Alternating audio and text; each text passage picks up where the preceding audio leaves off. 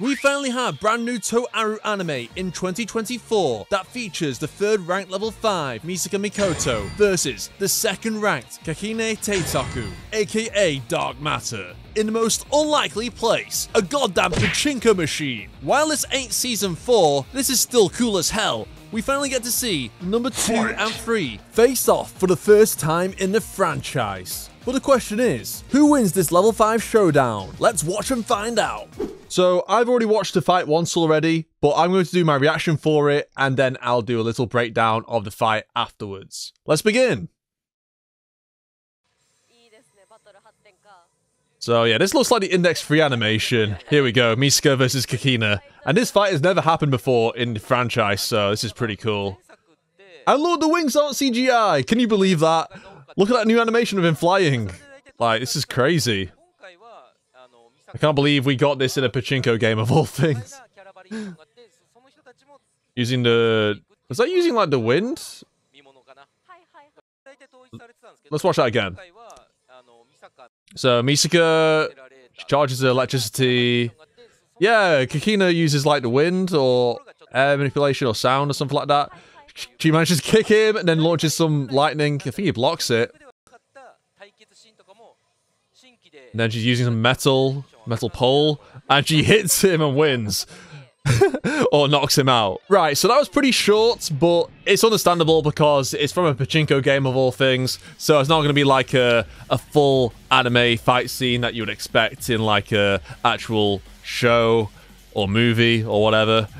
But it is surprising, like I was not expecting we'd get something like this in a pachinko game. Like this is brand new animation, which is kind of crazy. Uh, but what did I think of the actual fight? Well, I think Misaka won, but is the fight meant to be scripted? Because, I don't know. this is from a pachinko game, so I'm not sure if the player is meant to be Misaka in some capacity. So that if you, like, win part of the game, then you get to beat Kakine. I, I don't know how it works. Someone can explain it to me. But I'm pretty sure this isn't the only, like, Index Pachinko game. I think this is the, like, the number two the second Pachinko game for Index. Correct me if I'm wrong. Well, yeah, I don't remember the other one getting anything as cool as this, even if it was brief. I honestly think Kakine would take it if it actually did occur in the actual series, because let's face it, this probably isn't canon.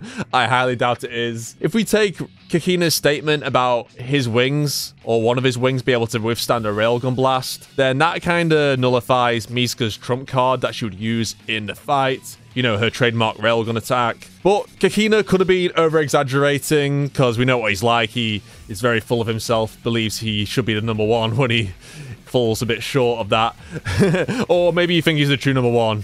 Like, I, I, don't mind if you do. I'm not hating on Kak. I, I, like Kakine. He did also react to like Misaka's electricity, which is pretty decent. I feel like he will be able to do that in a series, even though they've never actually physically fought until now, that is. Because he did fight Mugino off screen and he didn't like sneak attack her or anything, so he should be able to like react to her Meltdowner beams. Therefore, I think he should have no problem with her electricity even though in the light novel it's stated to be at light speed in some places, but that can be kind of disputed, but we won't go into too much detail about that. Like, Misaka did manage to land a few hits on him, which I don't mind. But the thing is, Misaka would find a hard job, like, to put Kakine down, unless she, like, incapacitated him with the electric shock or something like that. As if you've read the light novel, you know Kakine can take a hell of a lot of punishment and just get away with it. So, yeah, it would take a lot to kill him. Uh, and I don't think Misaka is willing to go that far, honestly. And then, yeah, you have, like, the fact he can manipulate the light around him into laser beams, which Accelerator had to jump away from. I'm not sure if Misaka could defend against that, to be honest. And then, of course, if Kakine launched his wings at Misaka, he can just transmute, like, whatever object she puts between uh, him and her. Even the Iron Sand, like, Kakine can just like change it into a different substance or just completely disintegrate it if he wanted to. So I'm not sure how Misaka would be able to defend herself in a fight, to be honest. But yeah, I still thought it was pretty cool, even though I do think Kak would win. Uh, I know people on Twitter have been like complaining about it, which, I mean, I don't mind. It's non-canon, who cares? But it would be interesting to see them actually throw hands, like, in the novels or in another form of media. The way I think Misaka could win is if she had the AAA, because that can kill like immortal beings and it probably would be able to destroy dark matter. But if you haven't read a light novel, you probably don't know anything about that. So I do recommend watching my Misaka Powers explain video if you want to know more about the anti-art attachment, which is a cool weapon of Misaka's that she gets in the novels. Another thing I want to mention is that Kakine's wings weren't CGI, which is a pretty contentious issue when it comes to how Kakine appeared in Index Season 3 because in the trailer for season 3, his wings weren't CGI. They were 2D animated, but then all of a sudden in the actual anime when it aired, they were turned to CG. And I guess it was because, oh yeah, dark matter is this otherworldly substance. It's not from this world. So that's how they justified it with being CG to contrast it from like the other normal matter in existence. But then later in the World War 3 arc, they introduced the EQ dark matter mechs or suits, and they use dark matter as well. Except this time, they're not CG. It's 2D in that scene. So it doesn't seem to be consistent, and now they've reverted back to CG, but I can understand it for a cutscene in a pachinko game, because it's not like they're gonna hugely invest into like that kind of animation style for this, I don't think. Well, I could be wrong, I don't know. But yeah, I, I think the wings look really good here, so I like that about it.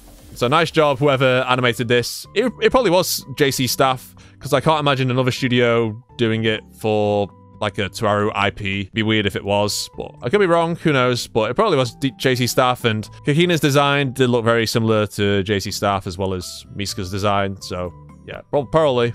Let me know who you think would win in the fight. Misaka or Kakine. And should I make a full video on this? Let me know in the comments down below. And subscribe for more Toaru related content. Hope you enjoyed and I'll see you all next time. Bye bye.